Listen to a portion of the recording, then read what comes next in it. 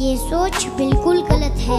क्योंकि शिक्षा का मतलब ये नहीं कि शिक्षा प्राप्त करके अच्छी नौकरी करें, बल्कि शिक्षा का उद्देश्य आपको ज्ञान प्रदान करना है, जिससे आप किसी भी क्षेत्र में उन्नति कर सके। इसलिए दोस्तों,